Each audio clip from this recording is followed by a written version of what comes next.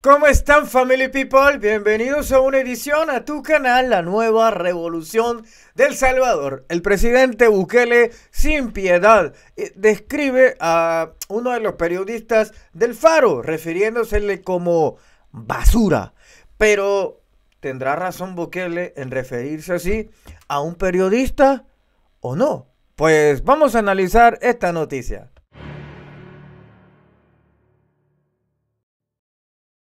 Aquí lo tenemos.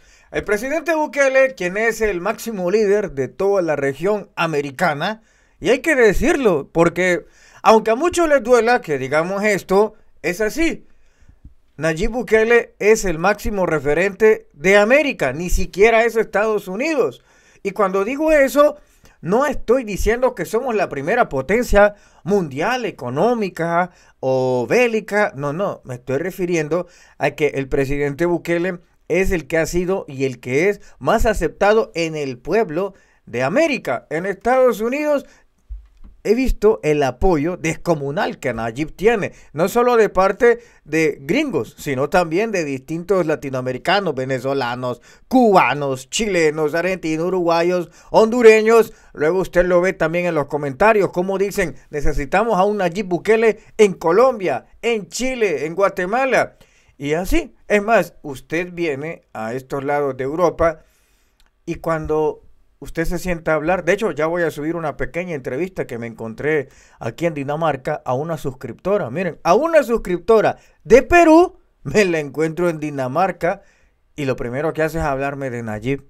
Imagínense, me dice, no, yo por usted descubrí a Nayib en Dinamarca, brother, y es de Perú.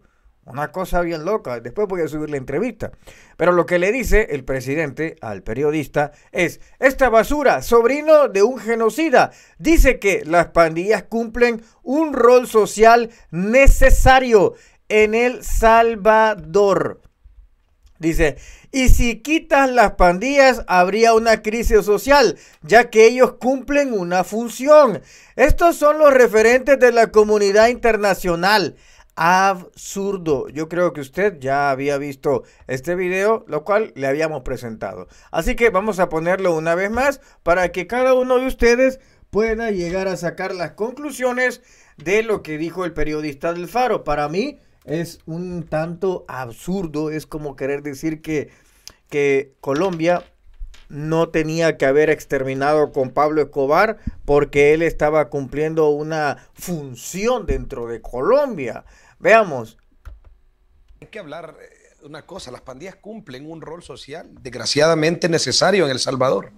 Llenan un hueco que no ha podido llenar el Estado o otras, otras instancias, ¿no? Eso me pregunté, ¿qué clase de hueco no ha podido llenar el gobierno? A ver, ¿cuál?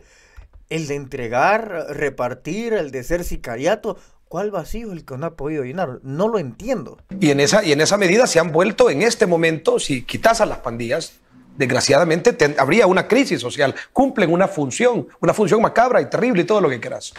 Bueno, ahí lo tiene usted y entonces a esas son las palabras que el presidente Bukele le atribuye cuando le dice esta basura, sobrino de un genocida, dice que las pandillas cumplen un rol social. Yo estoy totalmente en desacuerdo con lo que dice el periodista, ¿sabe? Porque yo no consigo cómo es que usted le va a decir, por ejemplo, eh, al Medio Oriente, que, y los de Medio Oriente, que le fueran a decir Irak, Afganistán y todos estos países de acá, que le digan a Estados Unidos, no, no toques a Osama Bin Laden porque nosotros no podemos vivir sin él, porque esto es parte de nuestra cultura y él juega una función social. Que le dijeras a Pablo Escobar que no se podía tocar, que Colombia le dijera, no, no, no, no, no hagan nada con Pablo Escobar, él cumple una función social que el gobierno no puede llenar, o que le dijeran a los nazis miren, no toquen a Hitler, o que le hubieran dicho así, porque él cumple una función social, no sé, o a Mussolini, aquí en Italia, que saben que terminó quemado ahí en la plaza, que le hubieran dicho a los italianos, no, no, no toquen a Mussolini, porque es un gran delincuente que cumple una función social. O sea, son cosas un poco extrañas, como intentan defender lo que es indefendible. Ahora, yo le pregunto a usted, y déjeme en los comentarios, ¿Cree usted que basura es el término ideal para llamarle a un periodista que dice que las maras cumplen una función? Déjeme abajo los comentarios. Muchas gracias por todo. Este es tu canal, La Nueva Revolución de El Salvador.